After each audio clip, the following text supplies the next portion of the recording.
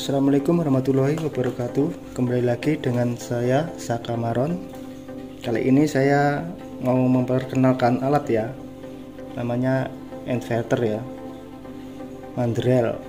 Disebut kalau beli di online itu mandrel. Ini buat pompa air yang nggak kepake ya. Ini rencana mau saya buat untuk amplas ya. Amplas pisau ampas arit atau untuk gerinda atau untuk motong besi ya. Ini kalau buat buat geraji kayu kayaknya kuat sih kalau yang seri besar ini. Ini kan buatnya cukup lumayan kalau yang Shimizu kalau yang kecil kayaknya nggak kuat. Ini beli di online ya sekitar harga 50 kalau mau beli juga harus tahu ya ukurannya asnya ini. Kalau kalau yang ini asnya 12 mili. Kalau yang Shimizu ya. Shimizu kalau yang sanyo kecil-kecil itu 10 mili kayaknya.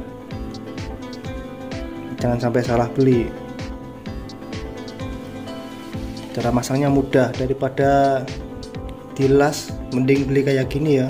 Kalau dilas itu kebanyakan ya kadang goyang kadang kadang nggak pas. Kalau ini tinggal pasang.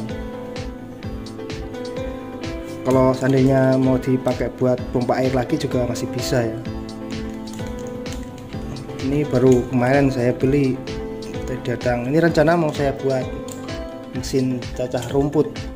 Kalau kuat ya tinggal tinggal beliin pisaunya ya buatin pisaunya. Rencana mau saya buka mesin cacah rumput. Ini kalau kayak gini enak bisa serbaguna buat blower juga bisa kipas bisa blower padi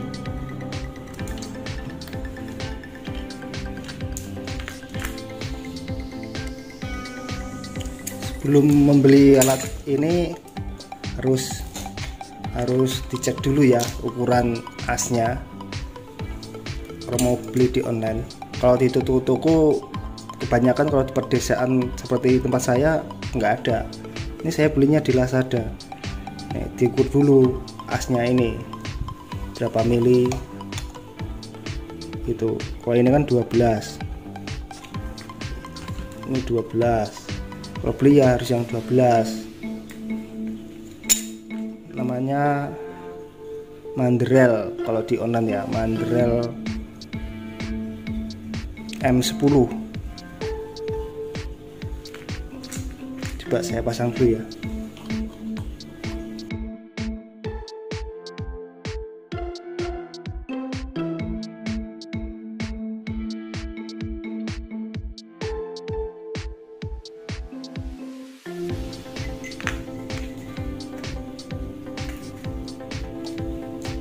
nah ini udah kenceng ya.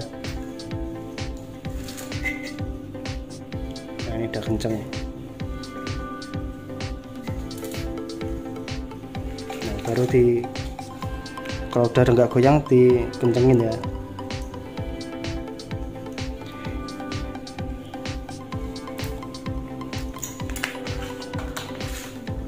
Coba saya hidupin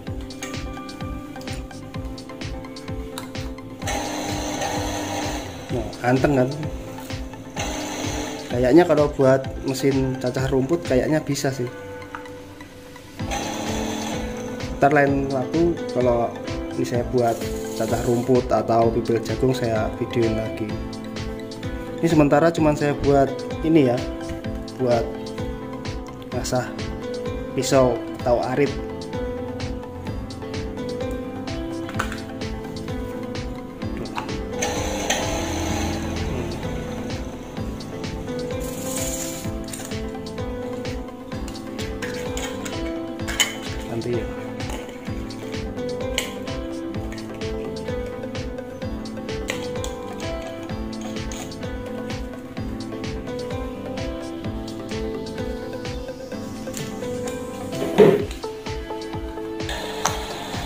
tajam seperti ini ya, ya. ini obeng rusak ya saya lincipin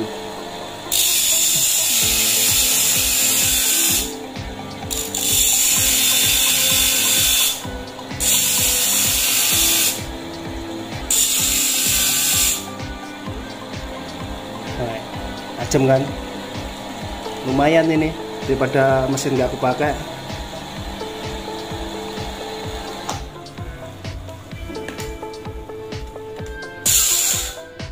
Nah, lain kali saya lanjut lagi ya videonya. Ini cuman untuk ngenalin alatnya aja ya, inverternya ini. Kalau beli itu jangan sampai salah pilih. Kalau mau beli diukur dulu ya. Dia pakai garisan yang lain juga bisa. Terkebanyakan kalau salah pilih itu logo, nggak bisa seperti ini, center seperti ini, bisa goyang. Entar soalnya tiap mesin pompa air itu beda-beda ya ukurannya setiap merek. Intinya yang kapasitor panjang lah. Kalau kapasitor panjang itu kebanyakan 10 ke atas. Ya 12 mili kebanyakan. Kalau yang kapasitor kotak sininya kotak. Itu rata-rata 10 mili khasnya udah cukup sekian dulu ya dari saya Akhirul kalam. Wassalamualaikum warahmatullahi wabarakatuh.